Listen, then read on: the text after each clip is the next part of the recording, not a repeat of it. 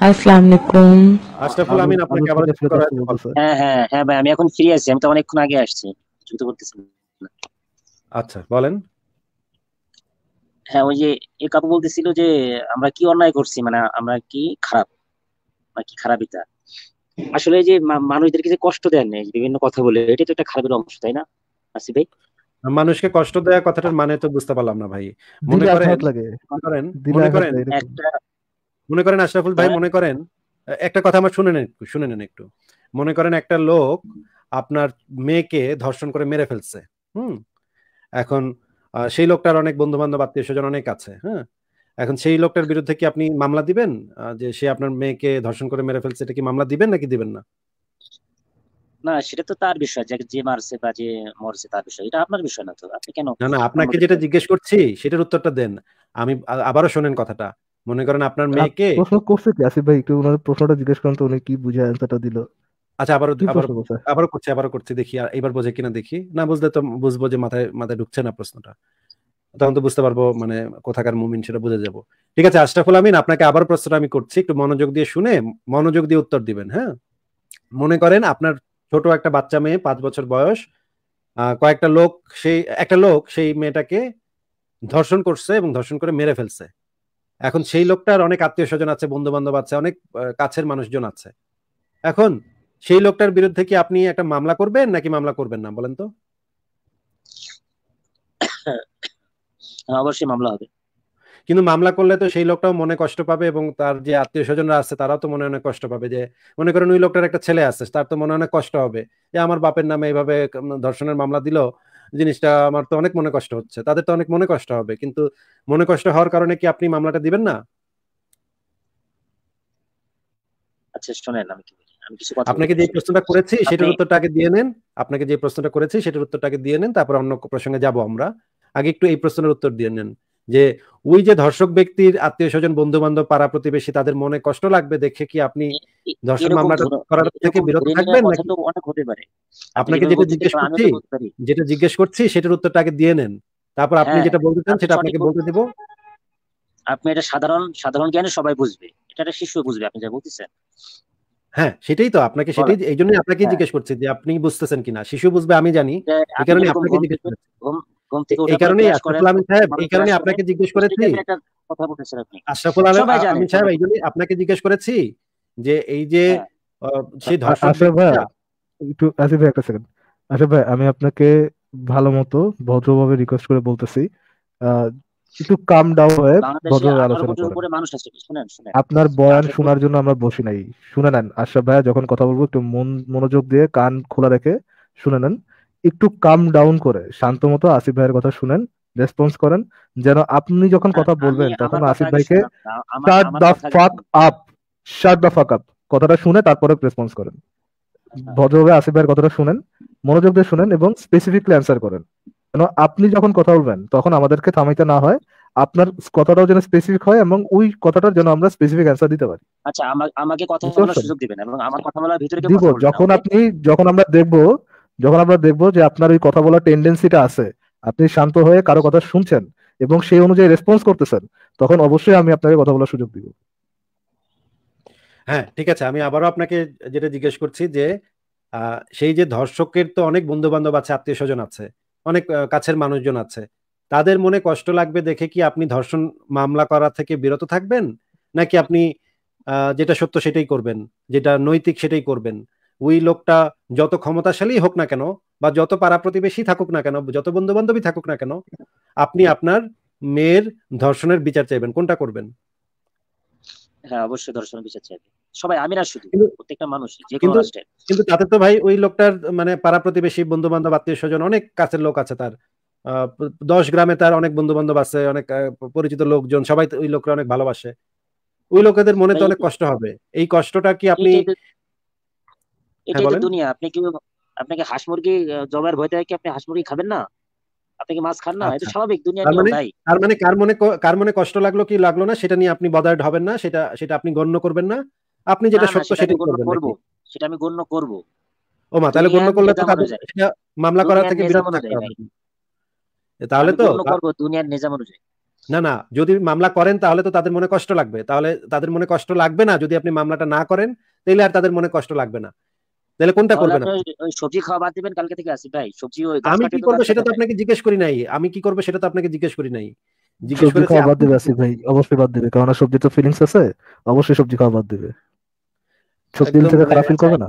একদম একদম একদম চুনাহাগা থেকে উঠে আসা মুমিন ভাই একদম চুনা চুনাহাগা থেকে উঠে আসা মুমিন। তারপর আচ্ছা আমি আমি আসিফ ভাই আসিফ ভাই আমি আমি একটা প্রশ্ন করব হয়তো উনি এটার সাথে একটু বেশি কানেক্ট করতে পারবেন।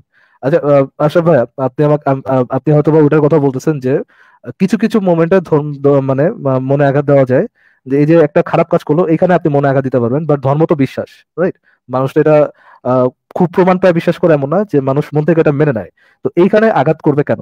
আপনার পজিশনটা কি এরকম? মানে আপনি কি এরকম কিছু বলতে চাচ্ছেন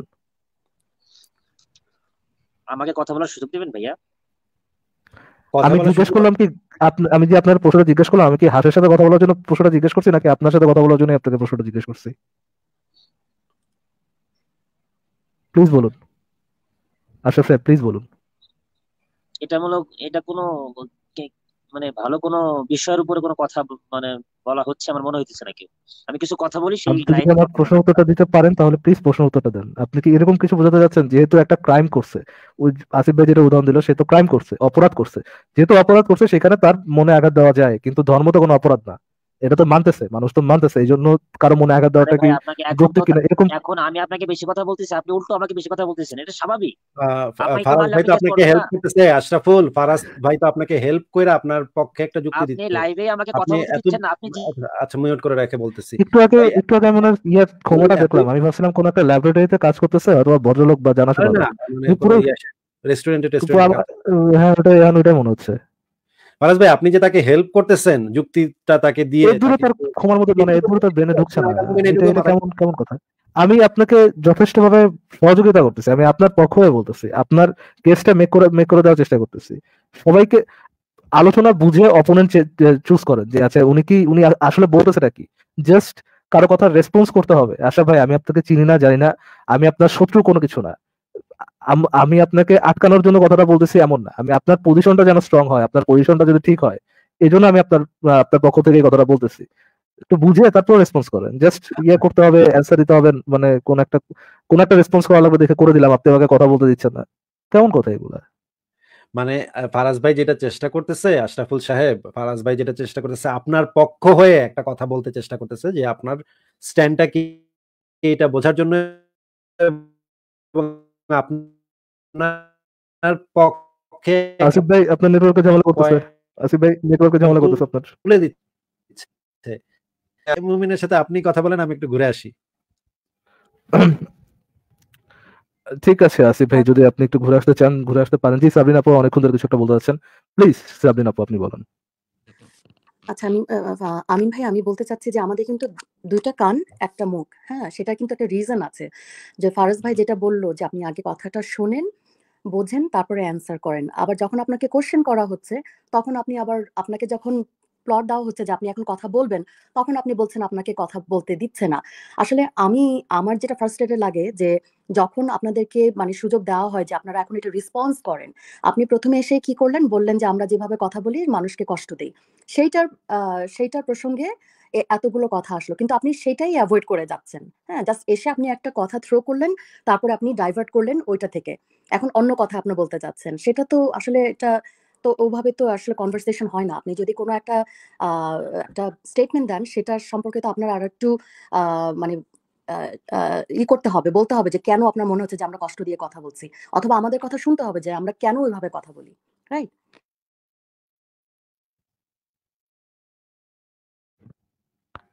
জি আশা ভাই প্লিজ বলুন আপনি যেহেতু আসিফ মহিউদ্দিন ভাই নাই আপনি আপনার কেসটা আরেকবার মেক করতে পারেন প্লিজ একটু আনমিউট করে বলুন। যেটা বলতে যাচ্ছেন একটু ক্লিয়ারলি স্পষ্টভাবে একটু আনমিউট করে বলুন। নিচে দেখেন একটা আনমিউট বাটন আছে আনমিউট বাটনে ক্লিক করেন আমি মনে হয় দাঁড়ান একটা সেকেন্ড হ্যাঁ প্লিজ আশা ভাই প্লিজ বলুন আপনি যে কেসটা মেক করতে যাচ্ছেন ওটা আরেকবার একটু বলুন। হ্যাঁ আমি বলতেছি একটা দেশ একটা গোষ্ঠী একটা জিনিস বিশ্বাস করে একটা জিনিস ফিল করে ফিল করে সে সুখ পায়। সে পাক না তারা। যদি অন্যায় কোনো কিছু না করে জুলুম কোনো কিছু না করে তাহলে তাদের বিরুদ্ধে আপনারা এত উঠে মানে এই মানে মানে যদি একটু ক্লিয়ার করে দেন। কথা এই কিছু অন্যায় আর জুলুম বলতে আশা আশা ভাই একটু একটু ক্লিয়ার করে দেন। অন্যায় আর জুলুম বলতে কি বুঝাচ্ছেন? এই জিনিসটা একটু ক্লিয়ার করে দেন আমাকে। এগুলো আপনার আমার থেকে আপনারা ভালো জানেন। আপনাদের অনেক ওয়াজ শুনছি আপনি dude for fuck's sake dude dude আপনি একটা কথা বললে আপনি একটা কথা বললে আমি কি আল্লাহর বড় ভাই বিল্লা নাকি? আপনার মনের মধ্যে অন্যায় আর জুলুমের ডেফিনেশন কি? এটা আমি কি জানতে পারব? না থাকুক বিল্লা থাকুক না থাকুক সিস্টেম আগে কথা শুনে তারপর রেসপন্স করেন। বলবার মতো কথা বলেন না। আমার মানে শুধু শুধু এই লোকটা মেয়াজ খারাপ খারাপ করে আসে। ভাই আপনি যখন বলতেছেন অন্যায় আর জুলুম করতেছে তারা যদি অন্যায় জুলুম না করে তাহলে আমরা কেন দিচ্ছি এখন আপনি অন্যায় জুলুম বলতে কি বুঝাচ্ছেন? আমি তো আল্লাহর বড় ভাই বিল্লা না, যে আপনার মনের ভিতরে ঢুকা যে দেখব যে আপনার মধ্যে মনের মধ্যে অন্যায় আর জুলুম বলতে আপনি কি বুঝাইতেছেন এটা আমি বুঝতে পারব। এটা এটা তো আমার পক্ষে বোঝা পসিবল না। এই জন্য আপনারা বলতেছি অন্যায় আর জুলুম বলতে কি বুঝাচ্ছেন এটা একটু বলেন। মানে প্রত্যেকটা সময় এদের সাথে কথা বলাটা এত টাফ এত টাফ বাক্সে।